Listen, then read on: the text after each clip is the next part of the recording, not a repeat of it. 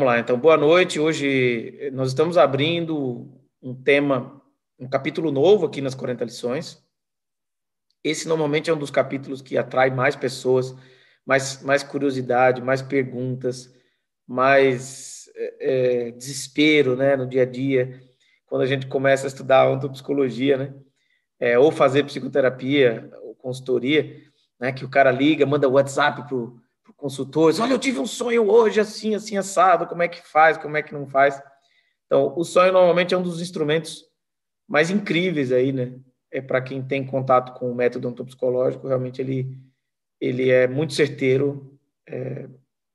E aí, obviamente, hoje o objetivo é que a gente consiga entender um pouco do, de todo o percurso que precede é, a lógica de compreensão do sonho por parte da ontopsicologia. Eu, vou, eu montei um, um material um material para enriquecer aqui o nosso, nosso papo. Eu queria deixar vocês bem à vontade também para interromper durante, tá? Abram o áudio, interrompam, vão fazendo perguntas, é, porque é um material bem rico, é, é, com informações históricas. Não é impossível tratar tudo o que foi é compreendido e pesquisado sobre o sonho numa live de uma hora, uma hora e meia, ou três horas, ou quatro horas, é impossível.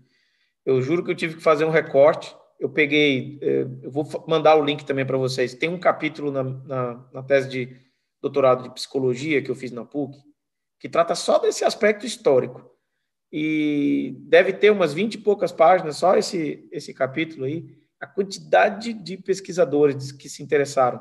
Então, é um tema muito interessante, porque ele interessa a, a pessoal da fisiologia, da biologia, da psiquiatria, da psicologia, da psicanálise. Ou seja, é um tema transversal. O tema do sonho, muito provavelmente, a gente pode dizer que é um dos raros temas, é, por essência, interdisciplinar, transdisciplinar.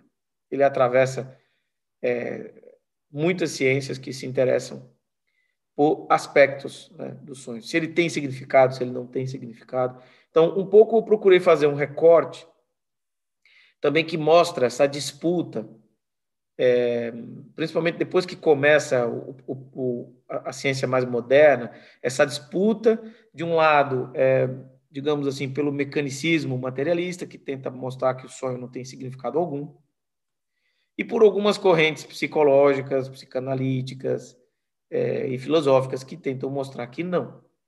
O mais interessante é que há muitas pessoas dentro do ambiente é, da pesquisa mais, mais pragmática, mais científica, que vocês vão ver que dentro dessa disputa eles vão colaborando com o lado do, do que, olha, parece que tem significado. E isso é muito legal de ver, porque como é que o cara consegue fazer pesquisas desse tipo, né, para derrubar certos argumentos e mostrava, olha, não tem nada a ver isso daí, né? É, é, é mais amplo e mais profundo do que parece.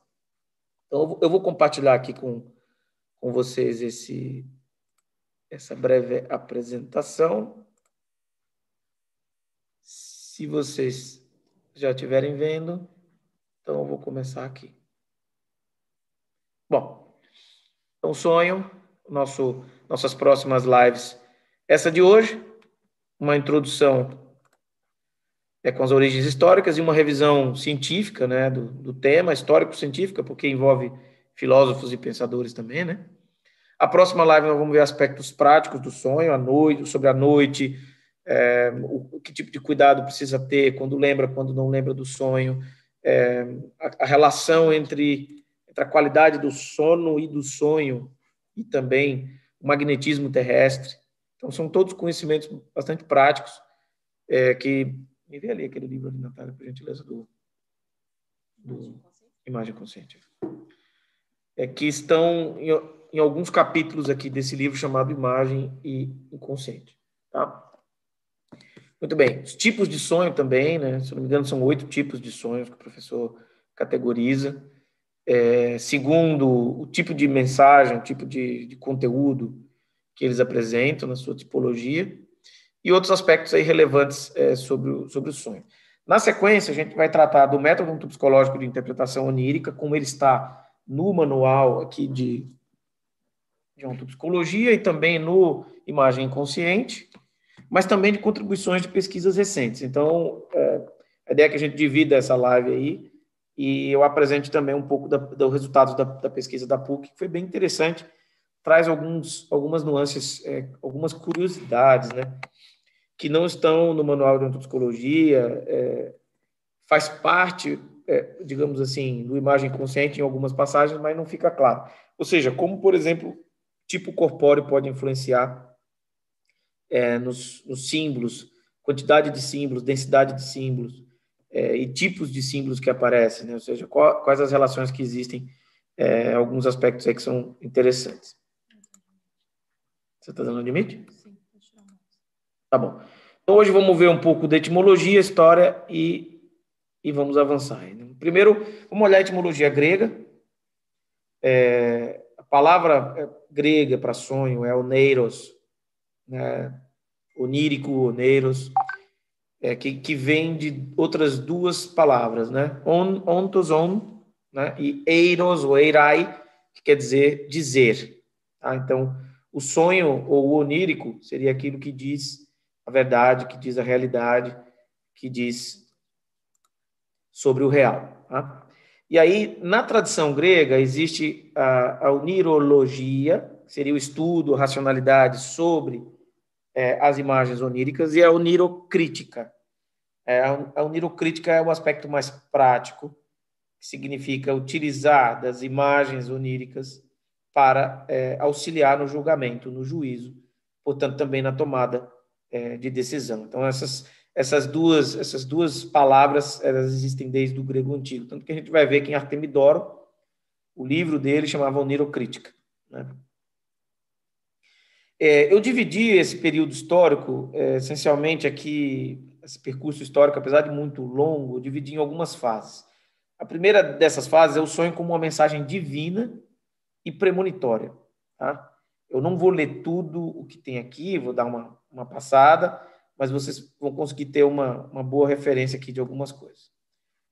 É, primeiro, eu queria trazer essa figura aqui, que que é uma figura emblemática, que é a figura de Hermes Trimegisto. Não se sabe muito bem é, o período que ele, que ele viveu, de fato. Então, se você pesquisar na internet, você vai ver várias, vários períodos. Né? Ele é confundido com a própria figura de, de Tot, aí que é esse é, o deus do conhecimento, ou seja, não é, se diz que eram a, a, a, mesma pessoa, né? E na tradição ocidental mais moderna, com o Mercúrio também, que é que é um, um Deus é, que tem ligação com o pensamento, com o raciocínio é, rápido, com as mensagens né, que caminham é, à distância. Né?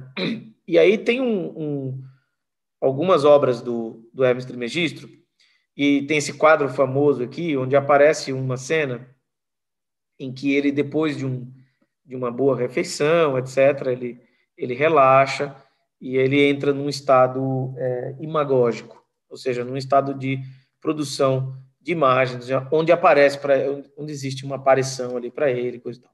E ele ensina esse método como é, de, de, conhecimento, né? que com a, a mente, é, através desse estado de semi-vigília, ele conseguia, então, praticamente ir a qualquer lugar ou refletir sobre, sobre qualquer realidade. É, é interessante imaginar que algumas fontes dizem que ele viveu em 12 mil anos antes de Cristo e outras fontes dizem que ele viveu é, até 1200 antes de Cristo. Né? Eu até volto aqui só para lembrar, né? Se ele de fato era essa figura é, mitológica, esse Deus, por que não, né? É, é, se ele era realmente um Deus em sentido no sentido que os, que os egípcios diziam, ele pode ter vivido realmente um, um período muito longo, né? Não se sabe ao certo. É, indo adiante aqui. Agora, historicamente, considerando a questão escrita, né, a, a cultura babilônica foi aquela que trouxe, é, pela primeira vez, uma descrição de um sonho é, dentro de uma obra escrita, que foi na epopeia de Gilgamesh. Para quem não conhece a epopeia de Gilgamesh, é essencialmente a história da Arca de Noé, é, só que muito mais antiga do que a história da Arca de Noé, né? Ou seja, conta a história do dilúvio. É uma história que ela, ela aparece em várias outras culturas, tá? Então, por exemplo, o Futse, o Fuxi, que é uma figura lendária que deu origem à, à civilização chinesa, também se conta que ele e uma mulher se salvam depois de um grande dilúvio, etc. Então, essa, essa história desse grande dilúvio ela é contada em diversas, em diversas tradições. O fato é que nessa obra, que data de 2000 a.C., é, esse príncipe Gilgamesh, então, ele sonha que encontra com um suposto irmão gêmeo dele, etc, etc. E aí ele é a primeira vez que a gente vê nessa cultura um relato é, de um sonho com uma interpretação. É, e qual é o valor? Isso aqui é interessante vocês entenderem. Nessa época, o sonho tinha o valor de uma espécie de premonição, ou principalmente de uma mensagem divina. Era como se fossem os deuses tentando é, conversar com os humanos. É, essa era a ideia, a ideia de base por trás, em várias culturas, não só na cultura grega. A gente vai ver na Babilônia era assim, e nos sumérios também. Eu não, eu não montei um slide sobre os sumérios, mas é muito parecido entre os sumérios, com a diferença apenas que os sumérios também faziam os chamados sonhos de incubação. Como é que funcionava isso, a gente vai ver um pouquinho mais para frente, tá?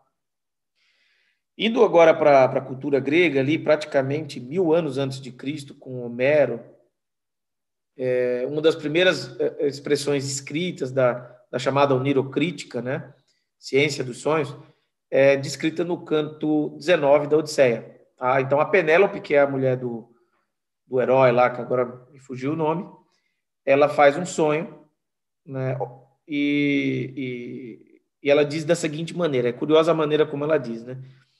Então, esse aqui eu vou ler porque é muito interessante. É só, os meus gansos estão bicando pela casa e me apraz, ou seja, me dá prazer observá-los, quando uma águia voa sobre eles, exterminando-os do primeiro ao último, e depois distanciando-se nos céus.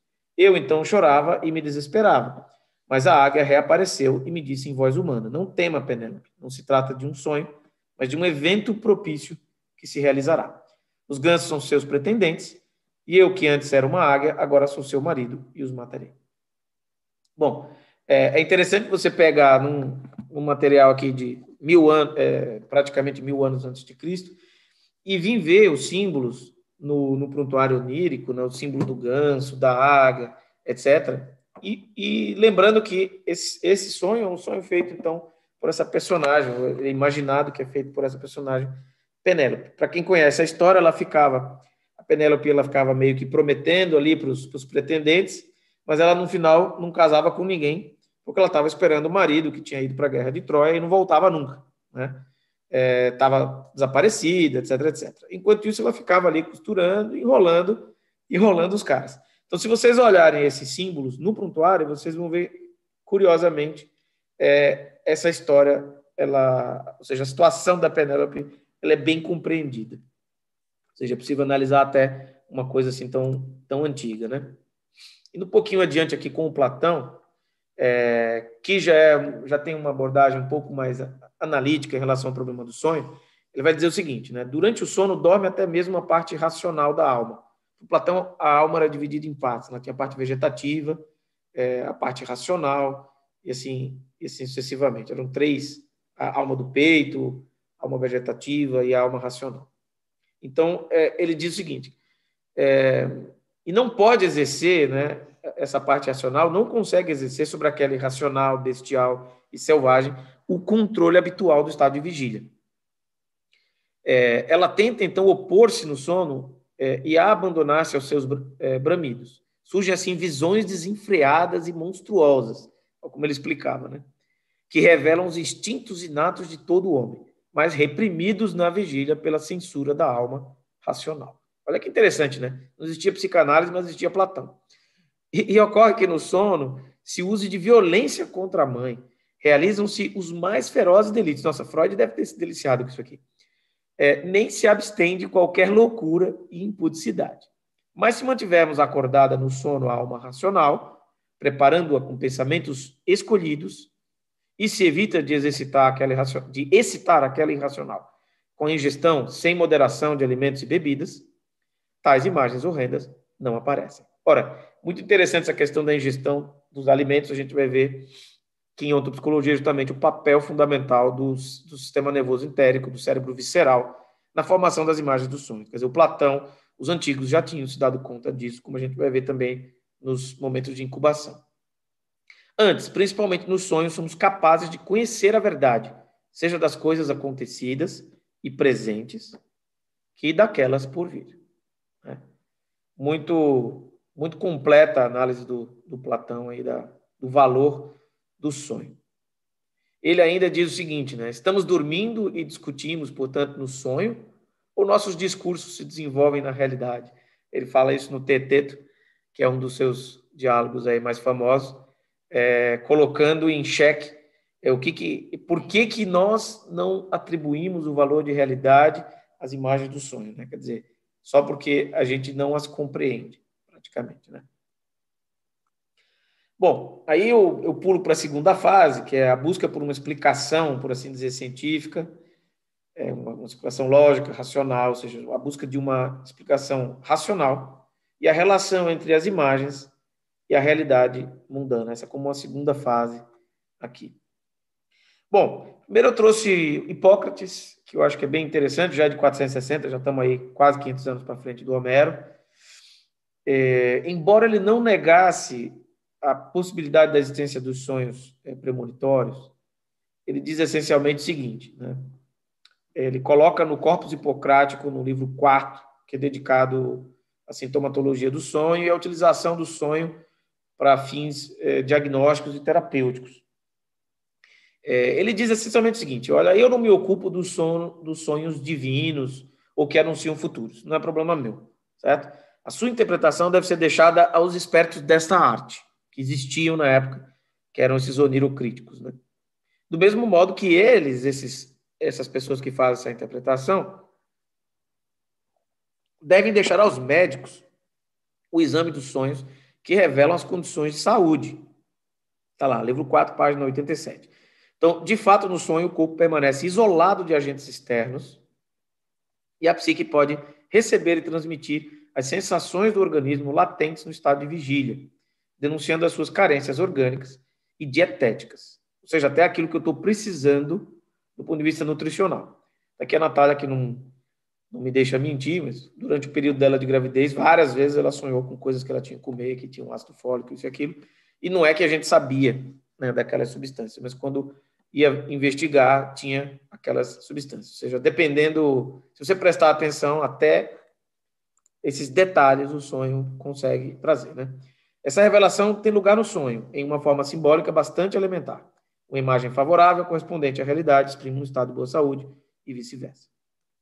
Bom, a forma de compreensão do sonho pode até não ser similar é, àquela, pode até não, não é similar àquela da psicologia, que utiliza um critério biológico, como a gente vai ver nas próximas lives, porém, o, o modo, o valor do, son, do sonho como elemento de diagnose, que também pode revelar questões de saúde, está tá bem posto aí pelo pai da medicina.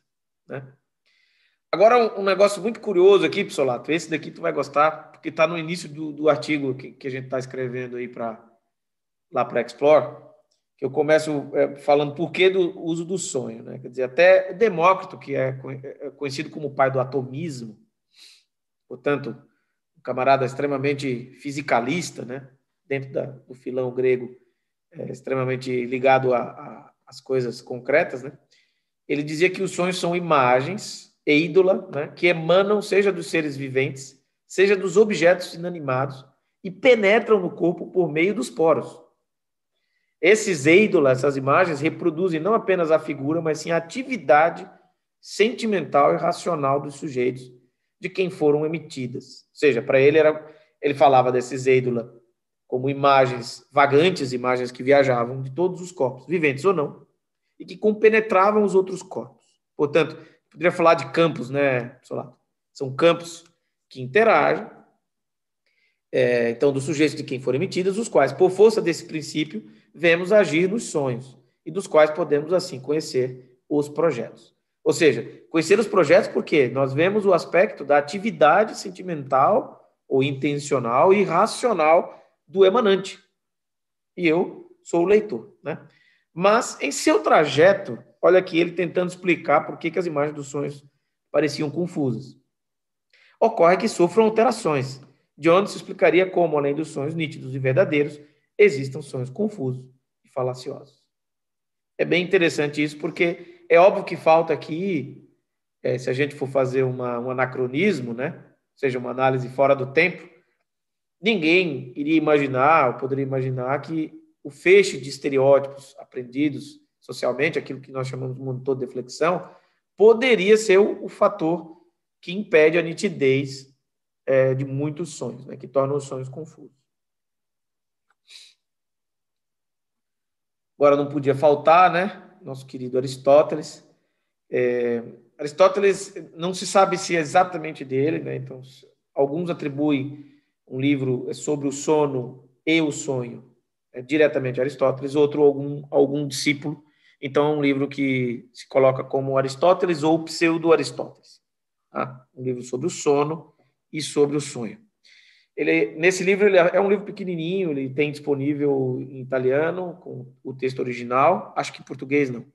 É, os fatos oníricos são um resíduo das sensações experimentadas, eu gosto muito dessa leitura do Aristóteles, durante a vigília. Ele, ele polemiza com, com Demócrito, né? ele, não, ele não concorda é, com, com o Demócrito, porque o Demócrito ele é muito do, do campo aqui agora, né? ou seja, aqueles ídolos estão me impactando aqui agora eu estou então vendo aquelas imagens. Né? Então ele diz que os fatos são um resíduo das sensações experimentadas durante a vigília, os quais deixam nos órgãos uma impressão, patos, que perdura inclusive após o desaparecimento do objeto da percepção.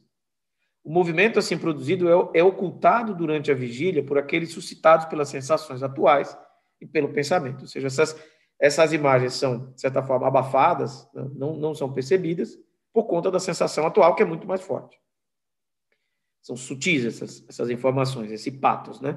Mas no sono, quando a receptividade em relação ao mundo externo é interrompida, assim como, por exemplo, na melodística, que eu fecho os olhos e começo a ver imagens, ou na imagogia, né?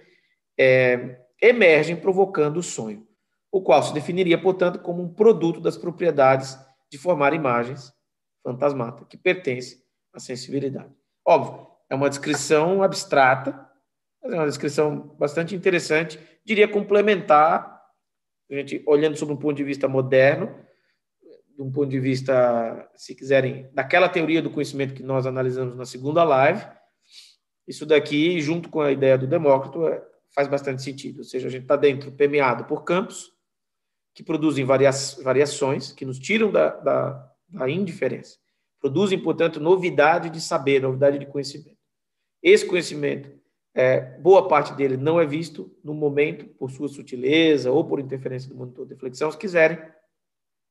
Mas aí, durante o momento do, do, do sono, né, quando se cessa a, a excitação é, sensorial, visual, etc., então esses sentimentos, esse patos, então é, é descarregado na forma de, de, imagens e o cérebro visceral consegue, então, é, emanar essas imagens.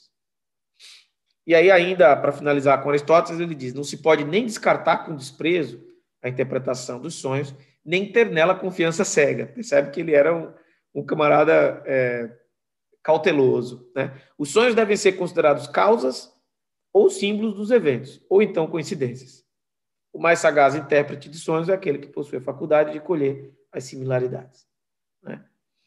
Era bem comum nessa época os intérpretes de sonhos, tá, gente, lá na Grécia os oráculos, é, isso em várias culturas, né? Também na China, lá é, havia os oráculos, o I Ching, assim como havia o oráculo de Delfos também, onde, onde é, os, os, grandes homens, os grandes gregos, eles iam, contavam seus sonhos, é, buscando uma, uma compreensão dos fatos. Assim como nos romanos também, como a gente vai ver mais para frente. Eu trouxe aqui o Xuan Tzu.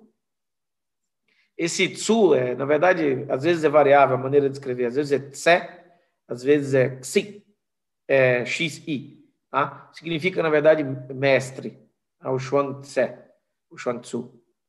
É, tem uma frase famosa dele que ele diz: Sou eu mesmo que recordo ter sonhado uma vez que era uma borboleta, ou então sou uma borboleta que neste momento está sonhando ser Xuan Tzu. É, ou seja, num lugar completamente distinto, uma frase muito similar àquela de Platão, mais ou menos na mesma época ali. Né? É, fechando aqui numa tentativa de conciliação. Posidônio, que era estoico, os estoicos já são mais próximos ali quase do, do, do da transição, né, do nascimento de Cristo. É, obviamente, não preciso dizer que a Bíblia está repleta de passagens também com sonhos interpretados, e todos os livros da antiguidade têm isso. Mas, como bom estoico, ele é um prático, né?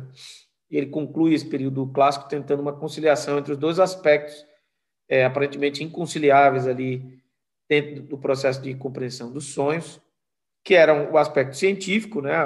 Ou seja, um conhecimento racional sobre o sonho, e uma arte é, divinatória que tentava compreender, extrair um significado é, com relação ao futuro. Né? Então, segundo Posidônio, existe apenas uma diferença de grau nos métodos e no conhecimento adquirido. Ou seja, nem sempre essa diferença é, é em favor da ciência, pois que a análise do sonho pode ofertar uma relação imediata e, portanto, privilegiada com a divindade.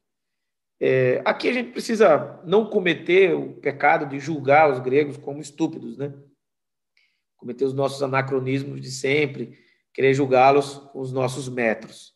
Assim como o pessoal lá, os atomistas, os pré-socráticos, eles não acreditavam né, que o princípio fosse a água, a água mesmo, ou o fogo, o fogo mesmo. Né? Eles estavam falando de ideias. Né? Então aqui, de verdade, ele está querendo dizer que a diferença, a diferença entre o processo, a compreensão racional e aquela de uma antecipação de um evento é simplesmente uma diferença de grau ou de intensidade, se vocês quiserem, modos é, pelos quais os sonhos aparecem. Existem modos distintos e, de acordo com o modo, você tem um tipo de conhecimento ou outro. É, uma última palavra aqui sobre as incubações oníricas que eu tinha falado e as curas de Esculápio ou Asclépio. Né? O Asclépio é, é o conhecido como deus da medicina. Essa era uma prática bastante difundida na antiguidade. Eu tinha citado os sumérios, eu não criei um slide para eles, mas eles faziam isso aqui também. Então, os sumérios, os gregos, os egípcios, todos eles tinham é, essa prática. Tá? Essencialmente, era o uso de adormecer em um lugar considerado sagrado, sacro, né, muito puro, é, com a finalidade de, de obter uma, uma resolução, chegar à resolução de alguma, de alguma questão. Poderia ser de saúde ou um problema que o sujeito tinha. Tá? É, basicamente, é, como é que funcionava essa coisa toda aqui? O sujeito chegava, chegava nesse local, nesses locais de cura, como se fosse um spa, vamos colocar assim. né? Ele, ele tinha uma série de práticas que ele, ele era submetido para se desintoxicar. Jejum, abstenção de relações sexuais, banhos, né? oferenda, sacrifício, ou seja, ele tinha que entrar numa atitude de, de, de voltar-se realmente para aquilo que ele tinha de mais profundo em si. Quando os sacerdotes, é, sacerdotes é uma palavra é sacro doceo, né? ou seja, aqueles que são os professores do sagrado, sacerdotes, né? eles estabeleciam que é, o sujeito estava suficientemente purificado, ou seja, eu não vou perder tempo interpretando um sonho que está cheio de lixo. Né? Então, primeiro eu vou te desintoxicar, vou te purificar das coisas mais grosseiras, e aí então você vai dormir num local adequado. Então, o sujeito ia dormir nesse, nesse recinto considerado sacro, com uma vitalidade é, particular, e pela manhã ele vinha e contava para o grupo de, de sacerdotes a experiência que ele tinha, é, e os sacerdotes tentavam, então, em conjunto, isso é bem interessante, né, porque era uma interpretação em, é, em grupo, várias pessoas interpretando aquele, aquele, aquela mensagem, para poder ver as diversas perspectivas e assim chegar a uma solução daquela questão. É, não podia não falar do Artemidoro, o Artemidoro é o cara mais famoso, ele viajava por toda a Grécia interpretando sonhos. Esse livro eu tenho, tá? Do Dario del Corno, é o italiano que fez a, uma tradução moderna, muito bem feita, com uma introdução histórica fantástica sobre o sonho quem tiver condição de comprar esse livro, compre, porque vale muito, muito a pena. O livro dos sonhos, baseado no, no original, que era o, é, né? Ele viveu no século II, depois de Cristo, né? É, viajava pela Grécia, então, é, como se fosse um, um consultor, né?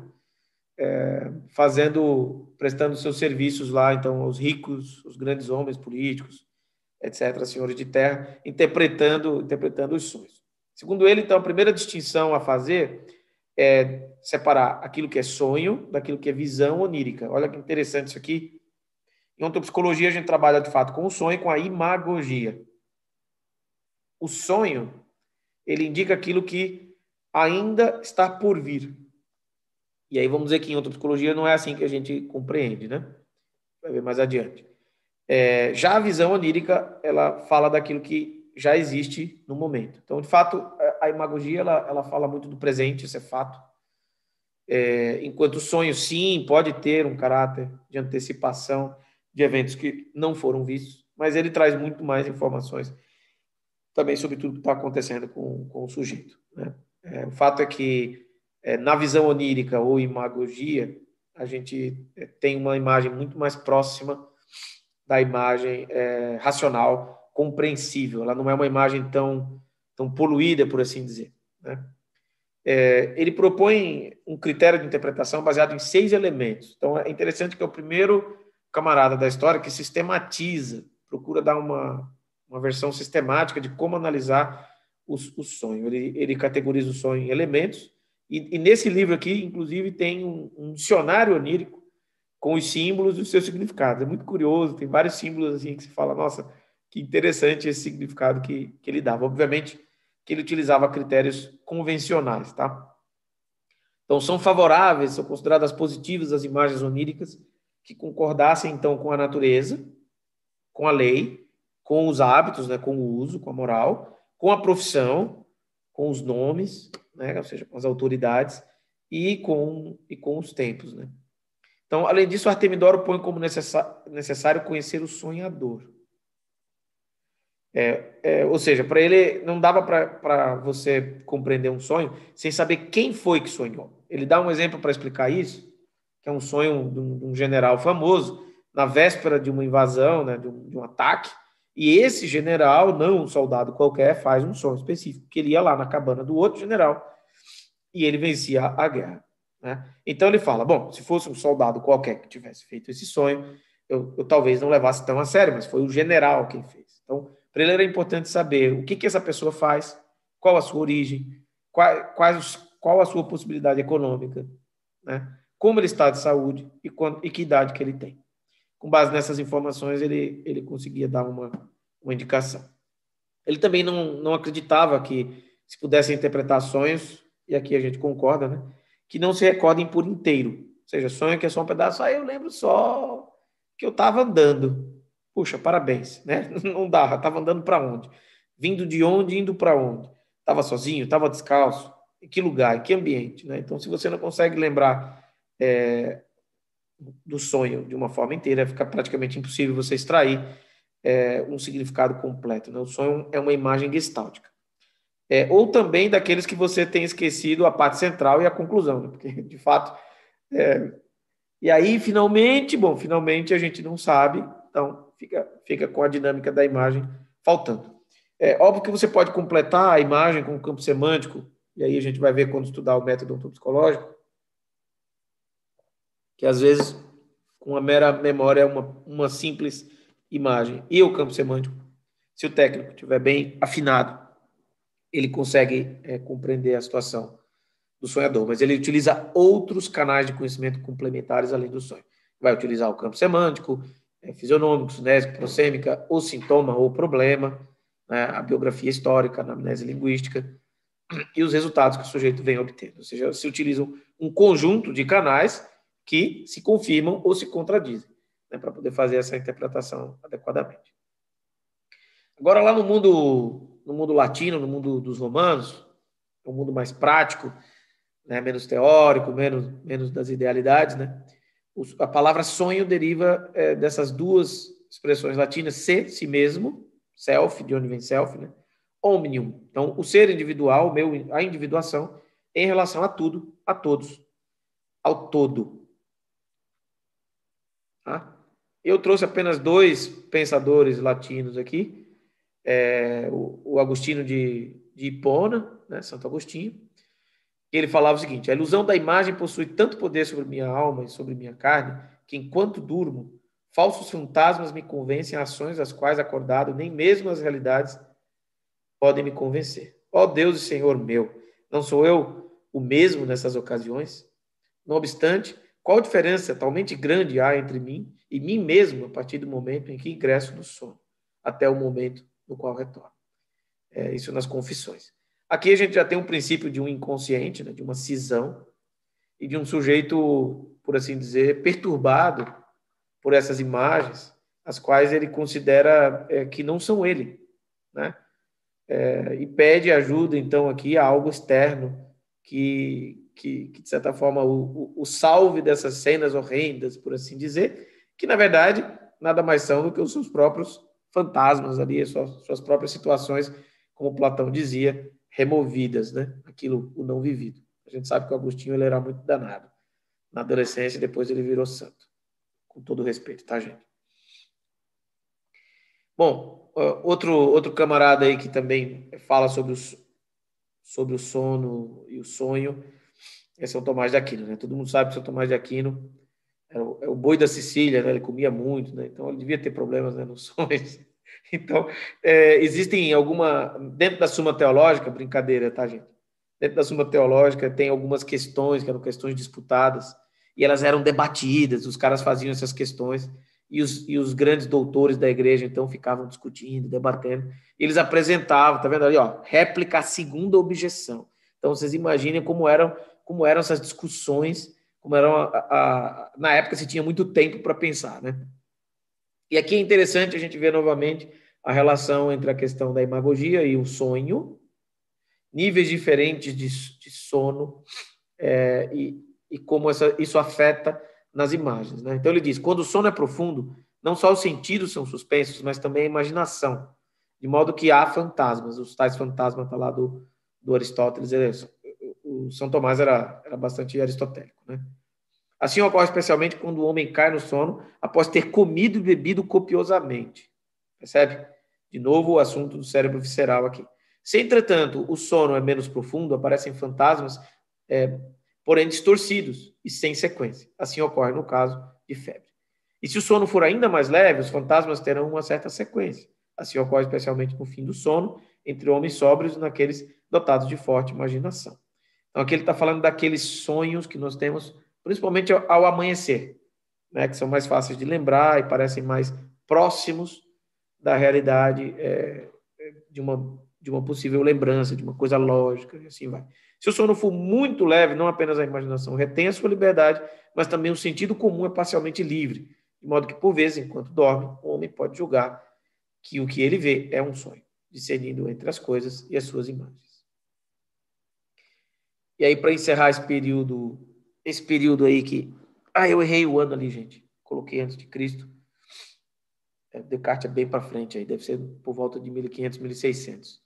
Tá? Ele, ele, de novo, ele usa uma expressão parecida com a do Platão, parecida com, com do Chuang Tse. Né? Vejo manifesta, manifestamente que não existem indicações precisas nem sinais certos o bastante por meio dos quais seja possível distinguir claramente a vigília do sono ao ponto que me espavento profundamente e o meu estupor é tal que é quase capaz de persuadir-me de que estou dormindo.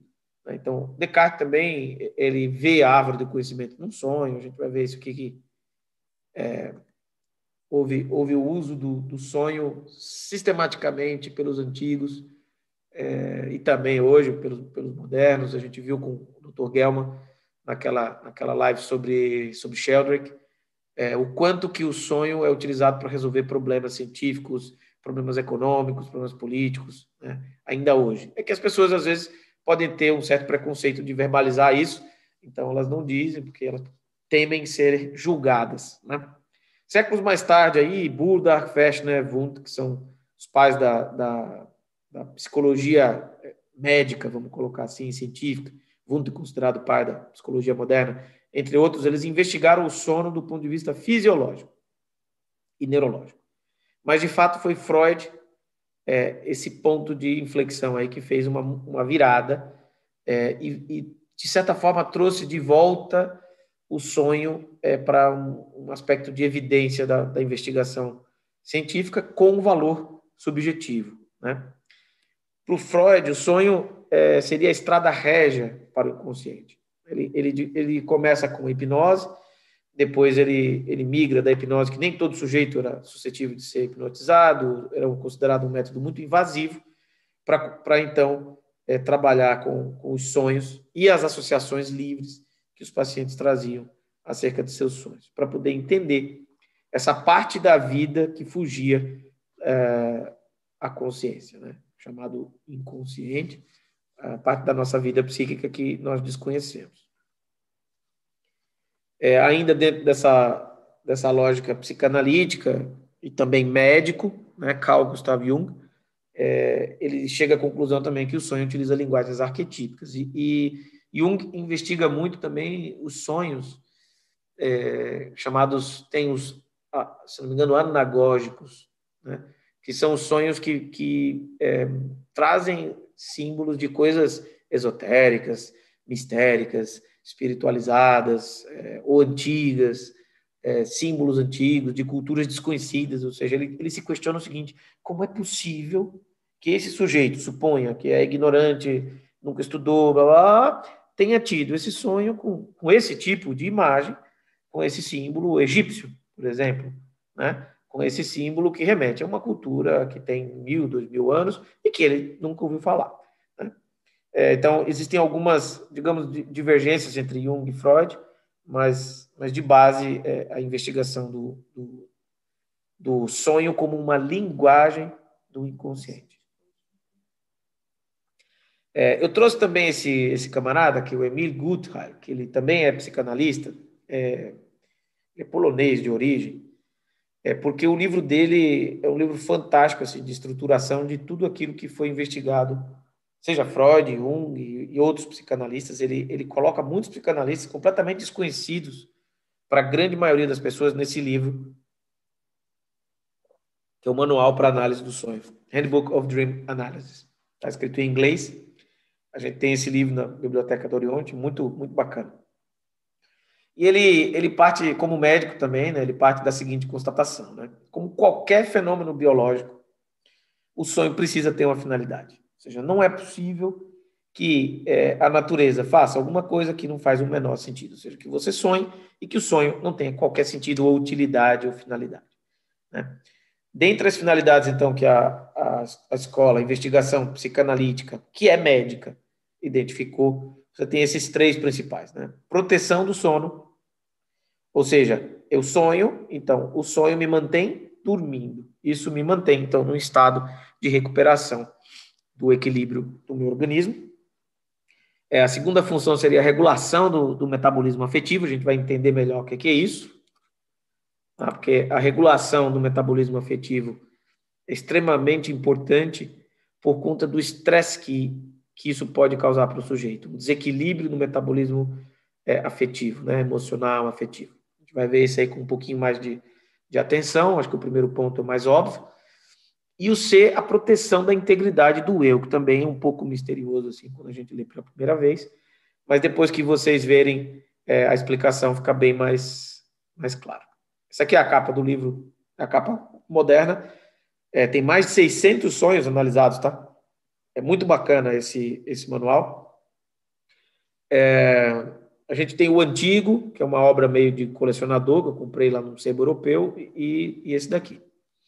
Então, com relação aos aspectos da regulação do metabolismo afetivo, tá? ele traz cinco, cinco elementos. Ao descarregar a energia afetiva, os sonhos funcionam como um mecanismo regulador que ajudam a manter, que ajuda a manter o equilíbrio afetivo, analogamente a outros processos de homeostase do corpo. Ou seja, o nosso corpo está constantemente buscando homeostase, essa numa linguagem moderna. Aquilo que, que o Aristóteles dizia, ou seja, o patos.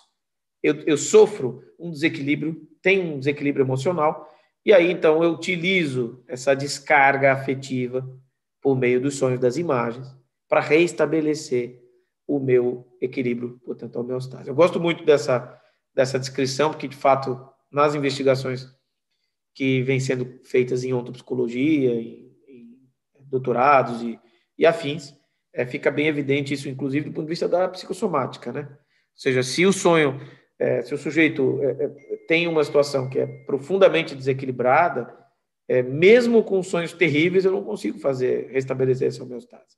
Ou seja, os órgãos vão tender realmente ao estresse sistematicamente. Segundo elemento, segundo aspecto aí dessa regulação do metabolismo afetivo é que o sonho pode prevenir de choques poderiam causar fortes danos ao eu. Então, por exemplo, a morte de alguém muito querido, e aí se antecipa essa imagem dessa morte, coisa e tal, o sujeito vai se preparando para aquela realidade. Nossa, eu sonhei com tal coisa, que terrível, né? Então, isso na visão, na visão dele, tá? Não estou dizendo aqui que em ontopsicologia a gente concorda com esse aspecto. A morte é um símbolo ambivalente do ponto de vista é, do método psicológico de compreensão. C. Os sonhos valem como uma espécie de advertência. Então, por exemplo, os sonhos que, que são gerados a partir de estímulos fisiológicos que indiquem o estado de saúde do sonhador. Então, nesse caso, é uma advertência. Olha que se você continuar, por exemplo, bebendo sistematicamente, você vai prejudicar o seu fígado. Então, o sujeito pode ter um, um certo tipo de, de símbolo, que ele está, por exemplo, tomando muita água, está sempre tomando água, água, água, é, enquanto ele sonha. Né? Então, ali tem um sinal fisiológico, é preciso entender é, qual a relação. Seja, provavelmente no, no trato é, digestório e, e fígado, etc., pode ter um problema. D. O sonho é a realização de um desejo. Essa era a visão inicial de Freud. Ele achava que todos os sonhos é, tinham a finalidade de realização de um desejo. É, essa finalidade está conectada com a, com a primeira, né, da homeostase. Ou seja, se eu tenho um desejo que eu não me permito viver, eu sonho, e esse sonho é uma espécie de, de sublimação daquele desejo. Portanto, o sonho realiza para mim, me estabelece a homeostase, lá onde o eu consciente, voluntário, o aspecto consciente da vida, não se permite viver ou concretizar aquela situação. Né? Por último, o sonho pode oferecer soluções a problemas. Então, uma série de sonhos podem apresentar numerosas soluções para o mesmo problema, fato reportado por filósofos, cientistas, empresários, inventores, artistas, etc. A gente viu ali que o Dr. Guilherme trouxe, né, naquele, naquele congresso que teve na, na Holanda, é, se não me engano, sobre holismo, né, holismo e ciência e holismo, alguma coisa assim, onde se reportou a questão do andar de bicicleta, sonhar é, e tomar banho, né, né, que são extremamente ligados aí ao relaxamento do sistema parasimpático, portanto, o desligamento, de certa forma, do, da nossa atividade é, cerebral, racional, lógica, pensamento ativo, e é, permitindo, assim, a chegada das informações que continuamente, inexoravelmente, o nosso corpo é, produz num metabolismo intuitivo, né? que é a visão mais é, corrente hoje em termos ontopsicológicos, ou seja, o nosso corpo vive um metabolismo intuitivo, um metabolismo informacional no interior de, de, um, de uma rede de, de campos é, de informação, e o resultado desse metabolismo são as imagens. Então, a terceira função é proteger a integridade do eu. Eu também trouxe isso para vocês porque é interessante, né? À medida que a gente adormece, a gente vai entrar entrando, saindo do estado de consciência para o pré-consciente até chegar num estado de inconsciência. A gente perde a consciência, né? Durante essa evolução, segundo alguns desses autores psicanalistas e médicos, a gente produz formas rudimentares, imaturas e arcaicas de pensamento. Essa seria uma maneira de interpretar o sonho também. É, e isso acontece de maneira inversa durante o despertar, né? quando a gente sai da inconsciência mais profunda é, para a consciência. Esse, nesse processo, o que, o que ocorreria, segundo esses autores, era uma espécie de dissolução do eu. Então, aquilo que a gente chama de eu, quando nós estamos acordados, vai se perdendo. À medida que eu vou aprofundando até chegar, digamos assim, no inconsciente, é, é, eu vou entrando, eu vou dissolvendo tudo aquilo que que eu entendo que sou eu e vou me, me confundindo com, com todas as coisas. Né? Essa seria a explicação. E aí, nesse momento, que, onde tudo se funde, eu posso utilizar, por exemplo, uma outra pessoa, uma outra realidade para falar de mim. Né? O pensar torna-se algo pesado e o agir impossível. A tal ponto parece que os pensamentos se substituem por ações. Né? Ou seja, tudo vira ação. Então, enquanto isso, quer dizer, toda essa investigação que buscava é, encontrar um sentido, um sentido é, subjetivo para o sonho, ou seja, o sonho como uma mensagem real e útil, é, produzida pelo sujeito dentro do seu contexto. E aqui, olha, gente, eu não trouxe nada, por exemplo, do conhecimento indígena. A gente sabe hoje, é, naquele congresso de Solato que nós fomos lá do, do Koroktkov, não sei se você lembra daquela moça que era espanhola, que vivia em Ibiza, comercializava água estruturada, e ela era neta de uma senhora que era presidente da, de uma associação mundial de rodas de sonhos, né, das tribos de rodas de sonhos. Então, é muito frequente em diversas tribos que um sujeito, é, eles se acordam cedo, né, contam os sonhos, e só então, depois que eles contam os sonhos, tem uma pessoa que que faz a leitura da situação global da tribo, é que os membros da tribo então saem para ir trabalhar e fazer suas coisas. Do mesmo modo, é, também quando o sujeito está doente, aquela doença é considerada como uma expressão do, de todo o grupo. Então, os sonhos de todos são analisados, são ouvidos, e ao final, aquela pessoa que é o expert na compreensão dessa, dessa linguagem dentro da tribo, entende o que está se passando e por que, que aquela pessoa adoeceu, por conta das relações. Ou seja, quando você vê dentro de uma comunidade pequena os sonhos multifacetados, você consegue ler também como estão as relações entre as individuações daquele grupo. E aí, nesse caso, é, se procede um processo de intervenção e cura. Essa é uma das viagens que a gente gostaria de fazer na Orient. Tem uma dessas tribos que fica no Equador. A gente já tem o contato do pessoal, do guia. Eles fazem a tradução para a língua dos caras. Seria muito legal a gente ir, filmar tudo, registrar, gravar e tentar entender o critério que eles utilizam para a compreensão do sonho, que deve ser bem interessante, bem rico essa, essa experiência. Dá um belo artigo, né, Maria Luísa Basso? É, aqui, então, ainda seguindo é, nessa... Só para contribuir, quando eu fui para a África, a gente visitou uns curandeiros e um deles usava o sonho como critério de entender a doença da pessoa. Achei muito interessante, mas ele não quis falar muito sobre o método dele, mas ele falou: não, tenho que saber o sonho da pessoa. Claro. É, eu acho que quando a gente abordar o aspecto mais do método, né, a gente vai ver que o sonho ele expõe, é, ele, quando um sujeito expõe um sonho, ele emana campo semântico, ele emana as informações sobre o seu próprio estado emocional, energético, é, de saúde, etc, etc. Então, quem ouve, se está atento, se ausculta a si mesmo, é, complementa todo o discurso que ele possa ter feito racionalmente, todos os elementos todos os, os, outros pontos de vista, né? Então, o sonho realmente como uma linguagem total aí, né? Bom, vamos lá.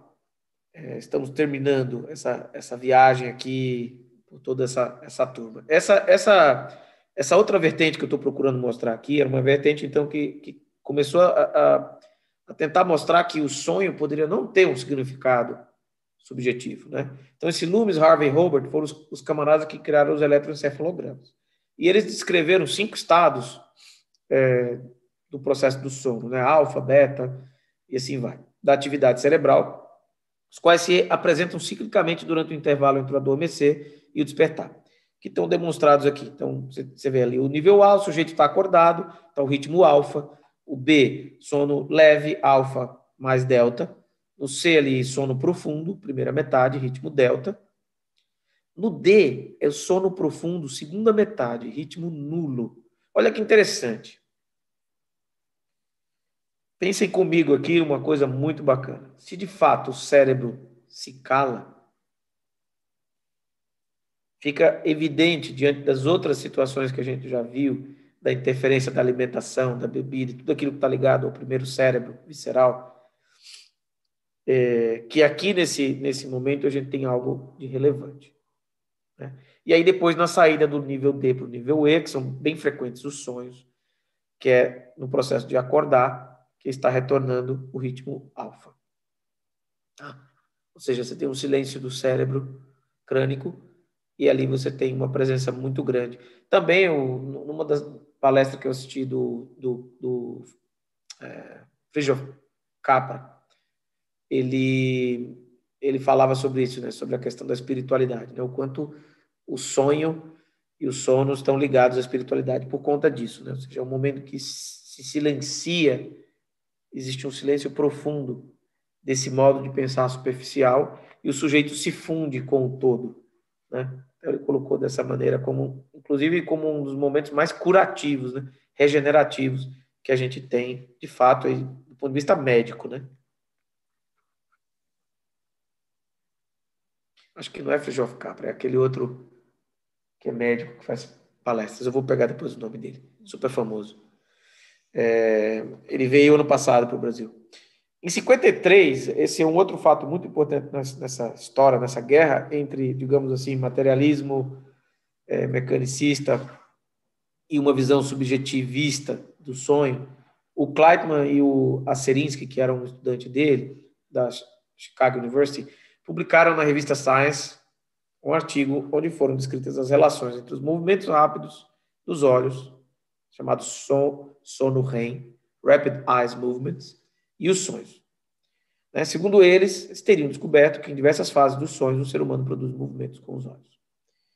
É, de verdade, eu já observei até na minha cadelinha que ela mexe os olhos mesmo, né? Fica toda emocionada, eh, dá uns chorinhos, uns latidinhos, coisa e tal, mexe, muda muito frequência cardíaca, cardiorrespiratória, muda completamente. E ela está ali, claramente, ela está sonhando, porque ela está fazendo sons também com a boca ali, como se estivesse latindo ou chorando. A gente nunca sabe o que, que é, mas parece, parece que deve ter alguma coisa a ver com os ossos, né? Ossinhos ou coisinhas, né? A gente não sabe o que, que é. é. Seguindo nessa pegada aí do sono REM, em 62, esse neurofisiólogo francês, o Michel Jouvet, ele descobriu que o sono REM, e portanto, de certa forma, que eu estou botando entre aspas, porque a gente vai ver que isso foi desbancado, né? O sonho seria controlado por uma parte primitiva do cérebro conhecida como ponte. E tem uma relação direta com as emoções. Segundo ele, a ponte emitiria então estímulos que se propagam por diversas partes do cérebro, e esse fenômeno produziria os sonhos.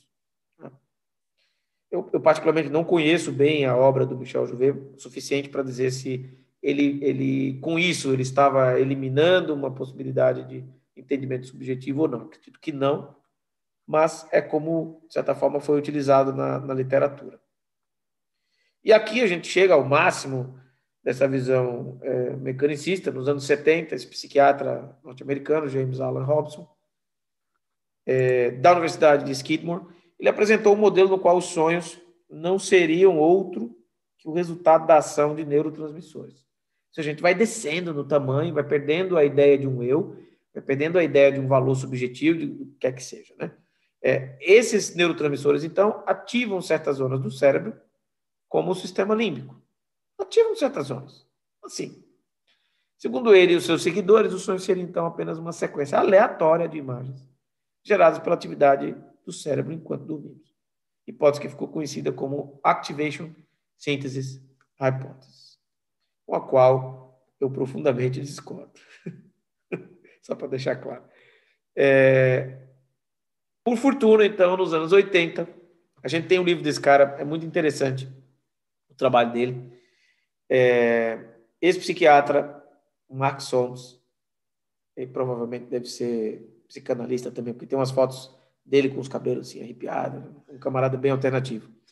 Na África do Sul, é, ele fez uma revisão da literatura médica. E você sabe que contra né, uma lei não pode ter exceções. Né? E ele encontrou 110 casos de pacientes que não mais sonhavam por causa de lesões cerebrais.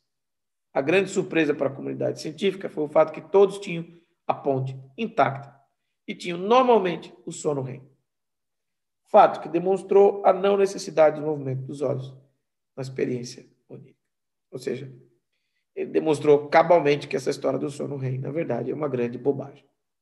Se vocês pegarem é, a fala do. reassistirem a live do Anirban, vocês vão ver que a hipótese dele para o sonho é que o cérebro está trabalhando na reconstrução daquelas simetrias, ou seja, numa certa homeostase informacional. É, ou seja, eu, eu entro em interação com coisas que me colocam em desequilíbrio o cérebro ele, ele é o grande processador de informações que chegam do corpo. E então o cérebro vai colocando essas informações nos seus respectivos lugares, buscando essa simetria homeostase, e isso produziria então as imagens. O que não quer dizer que tenha ou não tenha valor é, subjetivo. Né? Agora vamos olhar aqui é, um pouquinho, acho que pelo horário aqui a gente consegue talvez até olhar um pouquinho mais. Mas para o Meneghetti, que é fundador da, da ontopsicologia, a gente sabe que é, é, fundamental considerar a participação do cérebro visceral, do sistema nervoso entérico, na formação do sonho. Isso ele coloca num livro chamado Manual de Melolística, principalmente nesse livro ele coloca isso com toda clareza, tá? Enquanto o cérebro craniano sofre a influência do monitor de deflexão, ou seja, do nosso feixe de estereótipos,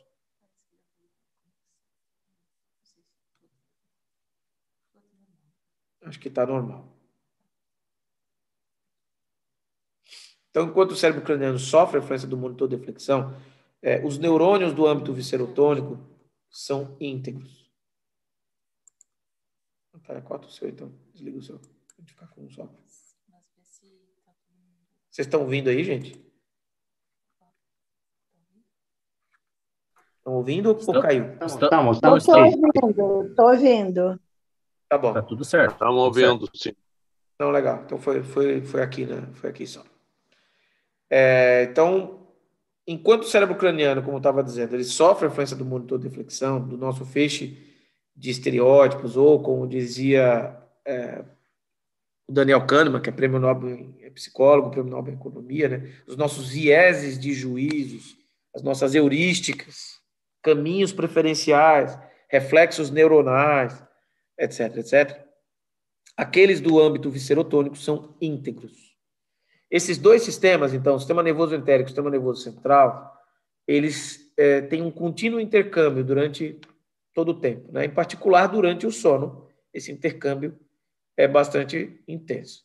Então, a introdução de informações lógicos cerebrais, ou seja, das interferências do monitor de flexão, sobre as informações do cérebro visceral, resulta nas aparentes contradições de sentido que nós vemos nos sonhos. Ou seja, as informações é, percebidas pelo nosso corpo vivo, estero e proprioceptivamente, são exatas.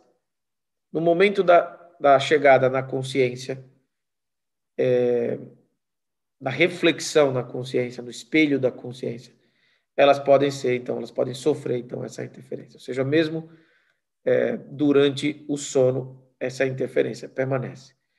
É,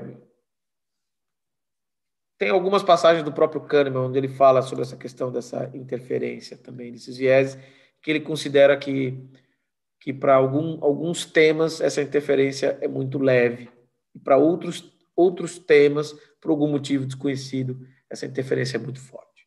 Então, tudo aquilo que envolve emoção, que envolve o cérebro reptiliano, as questões mais na zona límbica, etc., etc., é, a gente teria, então, uma, uma interferência, um monitoramento muito forte.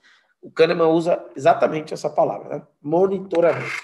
Monitoramento da, dessas atividades. Isso faz com que a gente perca, então, a informação da intuição. A intuição é o resultado do metabolismo contínuo informacional do nosso corpo vivo, o impacto, como a gente falou, num universo que é informacional também, por sua vez. Tá? Bom, eu vou parar de, de compartilhar aqui.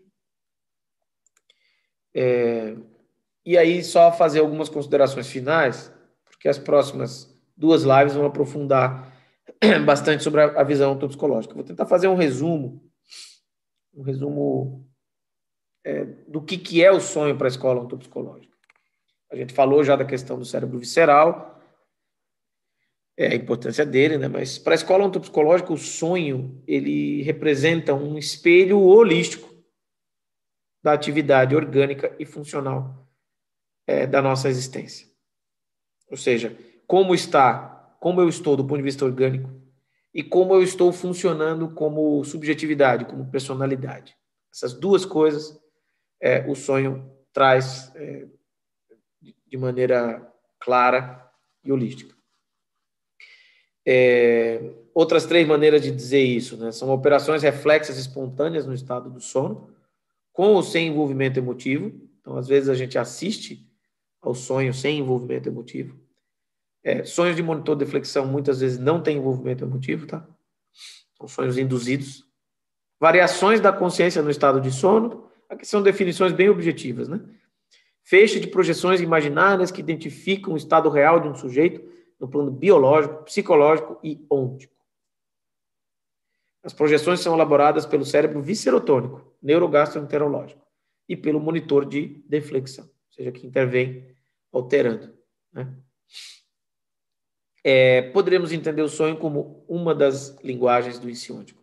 Né? É, o insiôntico usa qualquer palavra para verbalizar a si mesmo, é, as dinâmicas pulsionais, os instintos, a fantasia, o sonho, o corpo, os sintomas e assim sucessivamente.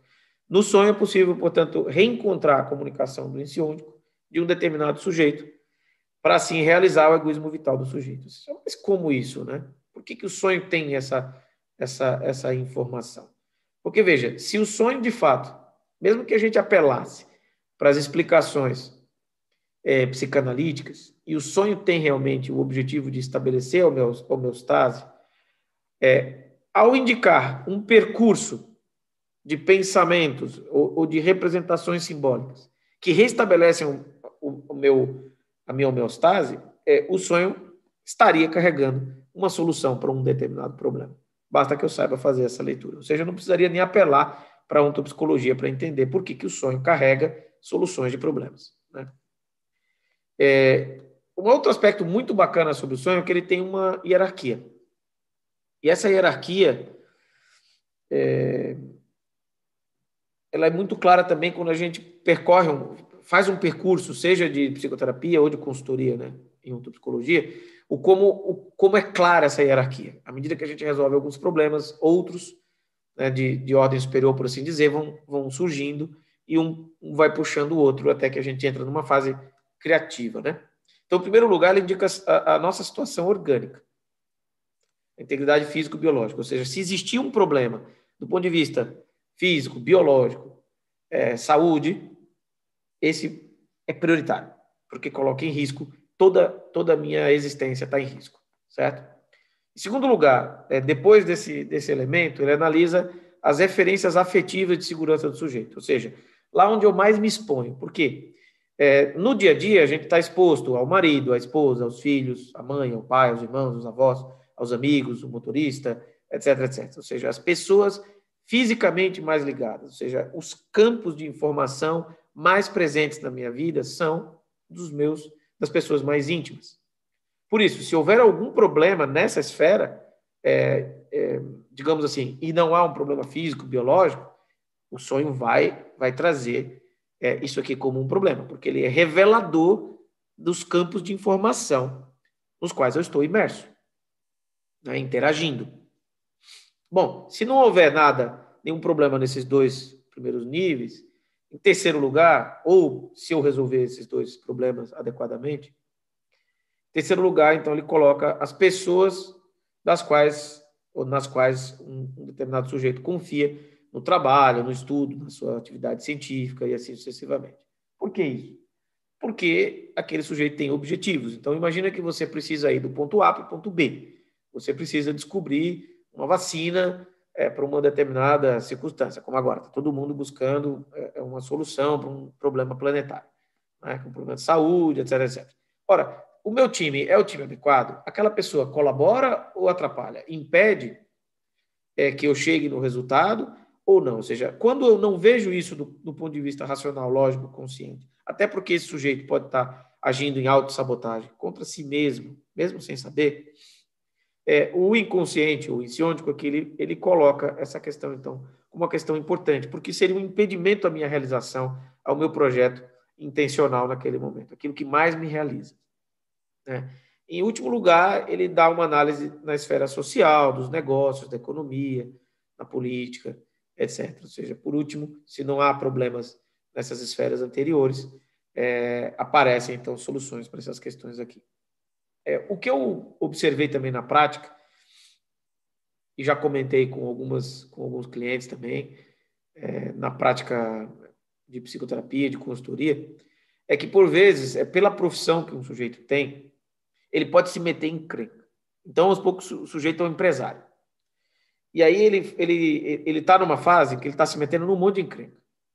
Né? Então ele não está com nenhum problema de saúde ainda, mas ele está se metendo num monte de encrenca de negócios que, que vão gradualmente levá-lo a, a uma série de outros problemas, certo? Ou seja, depois que ele destruir as coisas na esfera dos negócios, ele começa a descer, vai destruir as relações, vai destruir até chegar no corpo, digamos assim. É, mas é curioso porque aí o sonho aponta, em primeiro lugar, para essas questões. Ou seja, resolve primeiro isso aqui, porque isso aqui é urgente. Ou seja, essa hierarquia é uma hierarquia também de, de, de urgência. Se eu não tenho nenhum problema de integridade físico-biológica, mas eu me meti numa enrascada nos negócios, ele vai mostrar ali nos negócios. Mas ela vale também vista de trás para frente. Ou seja, se eu insisto nesse problema, eu, eu, vou, eu vou ter, é, digamos assim, eu vou destruir as minhas relações, primeiro aquelas mais funcionais de trabalho, depois as relações íntimas, ou seja, eu vou, eu vou gradualmente é, construindo essa, essa psicossomática, vamos colocar assim, até chegar no aspecto físico biológico. Tá? Então, no sonho, a gente, a gente entende é, qual é o ponto de erro ou de sucesso, né, ou de solução. É, e ele procede, como eu disse, dentro de uma, de uma lógica é, hierárquica. Por fim, é, para saber qual a escolha justa a fazer com base no sonho, né, preciso saber ler a informação é, que está contida nesse sonho. Né? Mas como é que a gente faz para decodificar esses símbolos oníricos? Né? Então, a, a, a gente vai ver esse método com, com, detalhes aí na próxima, na próxima live, mas é, é interessante entender que, que a ontopsicologia, de uma maneira geral, ela utilizou um critério biológico para entender esses símbolos, não um critério cultural, histórico, mas um critério biológico. Ou seja, na interação informacional do meu corpo vivo com outro corpo vivo, com um determinado tipo de emoção, de intenção, por exemplo, de amor, de ódio, de construção, de destruição e assim sucessivamente. Qual o tipo de símbolo, qual a tipologia de símbolo que é formalizado? Né? Então, é, esse foi o trabalho do professor, reconectar o símbolo né? Isso é o nexo ontológico que a gente chama. Né? Então, reconectou o símbolo da consciência com a realidade subatômica, é, energética, se vocês quiserem, semântica ou informacional. Tá? É, num sujeito, portanto, que ele se, se realizou naqueles quatro aspectos que a gente viu agora há pouco, é, saúde, biológico, econômico, etc., etc., social, o sonho torna-se, então, vi, uma visão para indicar um percurso também metafísico. Ou seja, ele pode abrir dimensões de criatividade pura, dimensões de intuições puras, dimensão estética, de prazer.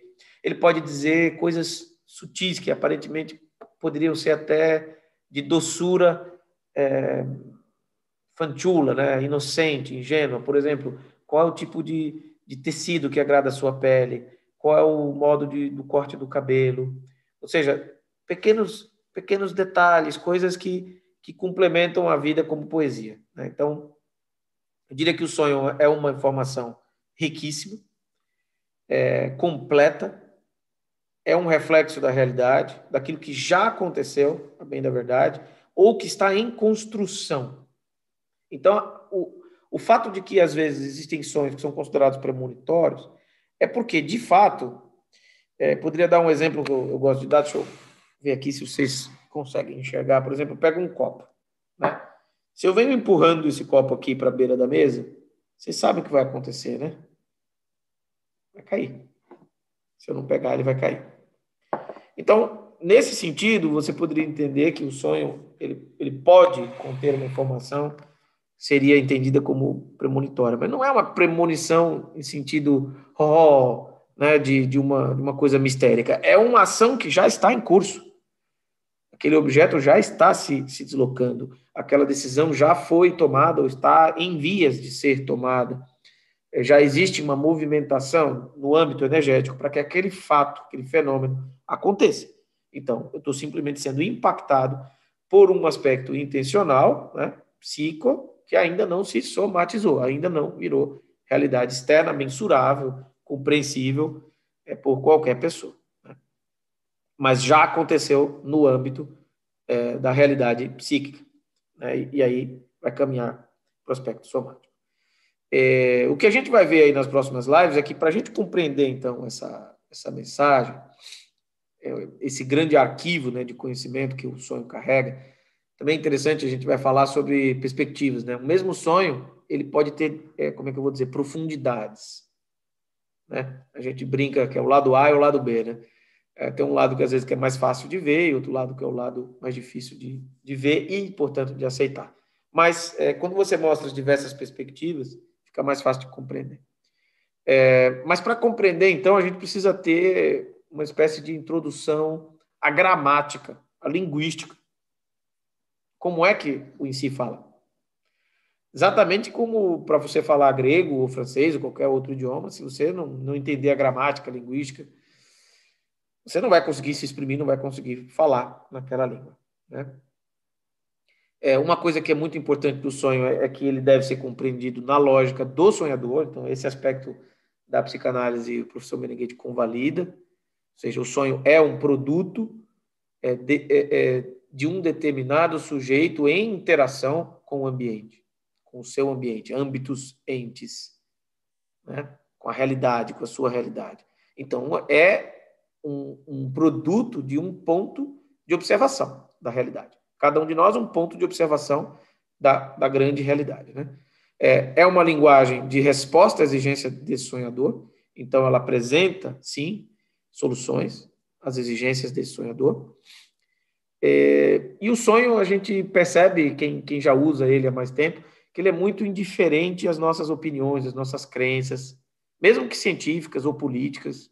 Ele é indiferente à ontopsicologia, ele é indiferente a tudo. Né? Ele olha exclusivamente a vida, aquele indivíduo, aquele sonhador, e ele se interessa de maneira egoística em realizar aquele sujeito, aquele indivíduo.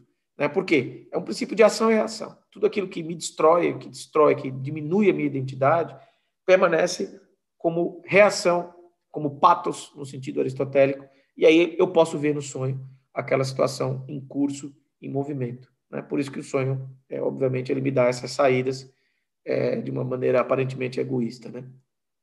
A gente pode dizer que ele, por fim, é uma verdade objetiva do indivíduo para o próprio indivíduo. Né?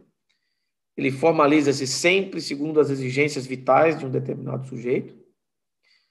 É, e por mais que ele possa ter determinadas convicções, o sonho vai falar é, não segundo essas convicções que ele tenha, mas vai usar é, uma linguagem qualquer, às vezes vai, vai utilizar pessoas que a gente odeia, pessoas que a gente não gosta, que tem características que a gente não, não tolera, né? Para falar, é, é digamos assim, é, segundo, é, para explicar as exigências organísmicas que aquele sujeito tem, ou seja, aquilo que pode realizá-lo melhor. É, eu encerro aqui, eu acho que se vocês tiverem perguntas ou considerações, a gente pode Falei bastante, foi uma live longa, eu peço desculpa aí por isso, mas é, era muito material para resumir. É, e as próximas duas lives, então, vão ser aspectos práticos do sonho, no dia 3 de maio, e o método ontopsicológico de interpretação onírica e pesquisas, digamos assim, um pouco mais avançadas é, sobre o uso desse método já na clínica, e o que, que isso resultou em termos estatísticos, em termos de resultados e curiosidades e, e tudo mais. Enfim, perguntas, críticas? Hoje foi denso, hein? Mas foi muito legal, Érico. Parabéns. Foi realmente. Tá cortando Maria Luísa, acho que você está no mudo.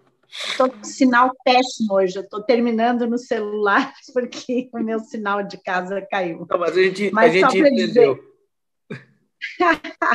só para dizer que é, foi ótimo, parabéns, e que esse final deu, deu um fecho muito prático, né, de colocar os níveis, e, e que eu acho que a gente leva para a vida como não adianta eu querer grande coisa lá fora se eu ainda não tenho é, uma grandeza interior, né? Então, assim, a autoconstrução, ela te bota na vida para que você almeje mais e tenha mais.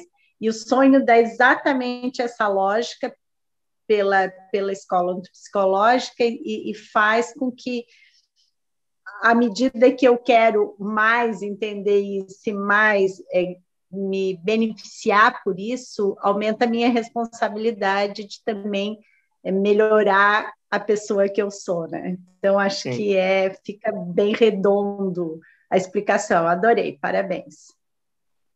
É, o, o professor ele falava que é, a gente precisa ter uma humildade muito grande, porque o nosso inconsciente, o nosso em si, é gigante na proporção do eológico histórico, né? Ele entende, por ele estar conectado a tudo, ser omnium, né? o si em relação a tudo, ao todo, a todos, por ele, ele ter essa possibilidade de conexão a priori, informacional, energética, com tudo, ele é muito grande.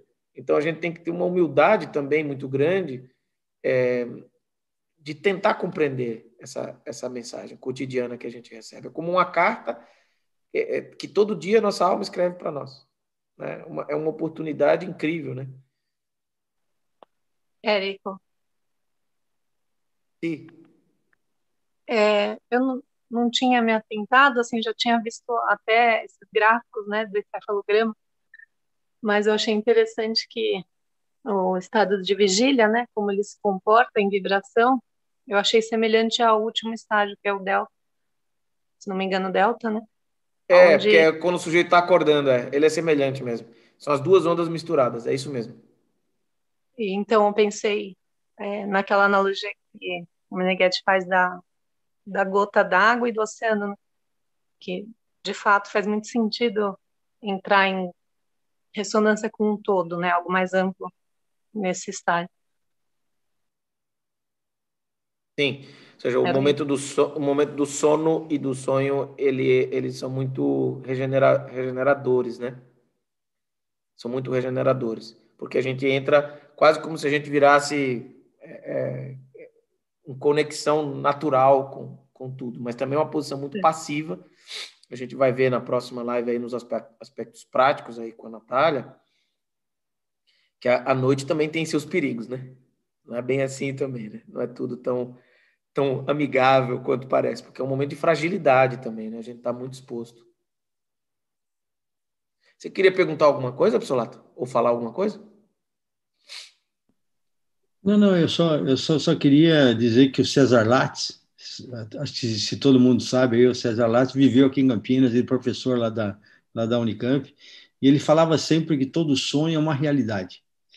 E, e aí ele foi procurar uma, um centro espírita de, um, de uma amiga minha, e ele queria descobrir isso. Por que, que ela, o sonho é uma realidade? Ele vai acontecer, ou já aconteceu, e isso aí que eu queria, que eu queria dizer. Isso César Latze, que morreu há pouco tempo aí, ele tinha essa indagação. E é verdade, né? É uma realidade. O sonho, é, ou ele vai Sim. acontecer, ou está acontecendo, e essas coisas. Exato. Mas ele ficou é, intrigado. É, eu acho que a questão aí, Psolato, é, é, o, é o problema da imagem como alfabeto da energia, né? Então, aquilo que a gente está tentando mostrar aí com essas pesquisas é que, de verdade, a linguagem da nossa que, que, que chega até a nossa consciência é a linguagem das imagens. As imagens são pedaços de realidade, elas, elas realmente representam coisas que estão acontecendo ou por acontecer no sentido que já estão em curso, já estão em ato, né? E é frequente, é frequente também é, é que haja é, que os espíritas também eles prestam bastante atenção aos sonhos e tudo mais, porque tem essa essa lógica, né? É, é alguma coisa que, que que vem do meu espírito, né? Vem da minha alma vem de uma parte profunda de mim. Não importa qual religião o sujeito tenha, é, o sonho ele causa muita ele te, causa muita empatia e, e, e, muita curiosidade. A pessoa acorda, é comum compartilhar, né? Chega no café da manhã e diz, cara, eu tive um sonho muito estranho essa noite. Né? Tive um sonho gozado, né? Tem sempre essa, essa coisa. Não sei se, se nas regiões de vocês é comum fazer esse, esse compartilhamento, mas não é uma coisa só das tribos indígenas, né? é, eu acho que mesmo na cultura moderna, as... Gilberto queria falar, Gilberto? Não, tudo certo? Tá. O, eu não sei se o Henrico está por aí, lá com o Ivo. Estamos aí ainda, professor. É, como a gente falou bastante do cérebro visceral, a participação dele no sonho, né, Henrico? Tá vendo, Henrico? Se você queria complementar alguma questão ali, por conta também da melonística, das imagens tá Eh, no, ehm, na verdade eu acho que eh, o que você disse é muito bom e está, está muito exauriente, foi muito exauriente naquilo que você disse. É, a gente procurou mostrar de vários ângulos, né? É, aquilo que, sim, desde a antiguidade já se fala. Você tem uma relação entre as vísceras e o sonho. Está lá desde, desde os é babilônios, desde os sumérios, todo mundo já sabia, né? Faltava. Fal... botar a bandeirinha, como gosta de dizer o Psolato, né? Fincar a bandeira e falar, ó. Agora tem que mostrar isso de fato, né, Psolato? Percebe? Isso é um campo de pesquisa interessante, né? Tentar mostrar isso de fato, né? É. O, professor Anirban, gente, ele, ele propôs que esse fosse um tema, um tema de pesquisa conjunto aí entre Orionte, parceiros e, e o instituto dele, que ele tem lá no Nepal. É, a questão do sonho, que, que realmente é um dos grandes problemas aí ainda em aberto, né? Como se forma, de onde vem, né? Acho que aí tem, tem um campo bacana. Não sei, doutor Freire, se alguém quiser colocar alguma coisa, é só ficar à vontade ou para fazer alguma pergunta também, ou crítica. Janine. O corpo, né, Janine? O corpo vivo. Se não, dou-lhe uma, dou-lhe duas. Érico? Sim. Rapidinho, é, eu queria só registrar aqui que um instrumento tão rico que a gente realmente vai percebendo a riqueza e, e tanta coisa que pode ser feita e que está presente ao longo da história aí de, séculos e séculos é, sendo utilizado e falado e comentado e realmente não ter tido até hoje um, um estudo mais aprofundado e, e em, em grupo, né, com várias ramificações da ciência, é, levando isso muito a sério, estudando, eu não compreendo o porquê disso. Então, é, tem um, um livro bacana que chama Genoma Ôntico, é, onde... Mas se você assistir a live do, do Sheldrick, dá no mesmo, certo? A, a, a, a história da ciência é uma história de, de, de lutas, de, de, correntes e frentes que vão, se avanç, que vão avançando, e aí se, aquela que avança e vence, ela se dogmatiza, se cristaliza, e vem no, um novo grupo e tenta quebrar aquela, aquela coisa, ou seja, num movimento de progresso é, contínuo. É, às vezes, as guerras interrompem esses períodos de crescimento, de desenvolvimento pró-humano, digamos assim. Mas eu não acho que o sonho não foi, não, não é que não, não foi prestado atenção nele. Muita gente prestou atenção no sonho. Talvez não seja um conhecimento corrente. o, o, o, Solato citou, por exemplo, o, o César Lattes. É, eu cito, por exemplo, o Siddhartha Ribeiro, que é presidente, ou foi presidente até recentemente, não sei se era da CAPES ou era do CNPq, Psolato? A SBPC. SBPC. Hum. Sociedade Brasileira de Pesquisa Científica. E ele publicou ano passado, ano retrasado, acho que foi ano passado, 2020, foi no ano da minha defesa aí da Unicamp, ele publicou um livro chamado O Oráculo da Noite. É, ele ganhou de presente esse livro, Imagem Inconsciente. Ele já vem pesquisando sobre o sono e o sonho há algum tempo. E assim como ele, muito, muitos pesquisadores pesquisam sobre. Agora, o caminho da ciência, é, digamos assim, mecanicista, é um caminho lento. E perceba que os caras foram por uma viela, estudando ali o sono REM, depois os neurotransmissores, o sonho é uma coisa aleatória, e de repente chega outro cara, bum, tá aqui as exceções, isso não tem nada a ver. Começa tudo de novo e vai. Ou seja, a visão holística na ciência talvez seja uma das coisas mais difíceis de conquistar. É muito difícil. Ela é interdisciplinar, transdisciplinar, pede. É, ela é difícil, é complicado. O método científico que divide para conhecer melhor, ao mesmo tempo, nessa divisão excessiva para conhecer melhor cada parte, ele termina perdendo a visão holística. Então, talvez o ponto aí, Flávia, esteja nisso. Não é que é uma culpa dos cientistas ou uma, uma não vontade deles de querer pesquisar esse assunto. Há muita gente pesquisando sobre sonho em diversas esferas, em diversos aspectos. É, eu acho que o problema é ter uma visão holística de tudo isso. Né? Como, como encaixar tudo isso? Veja, já na antiguidade eles não se entendiam lá, né? Como é que pode encaixar uma visão lógico-racional do sonho com essa visão premonitória ou, ou, divinatória, como uma mensagem que vem sabe lá de onde? Né? Então, difícil de fazer essa, essa conjugação, né? É, e é isso, né? A evolução da ciência passa por isso, né? a quebra, a quebra de alguns, de alguns paradigmas para atingir uma visão holística. Isso aí.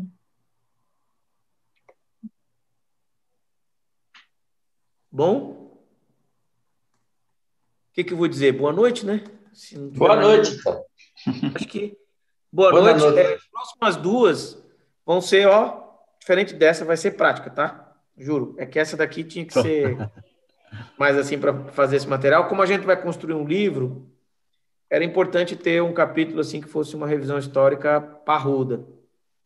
É, no capítulo do livro mesmo ainda vai ter outros autores, vários, principalmente da, dessa vertente mais médica, psicanalítica ali e da, da idade moderna, e exemplos, vários exemplos de, de cientistas, descobridores, inventores, artistas que criaram coisas utilizando o sonho como, como ferramenta.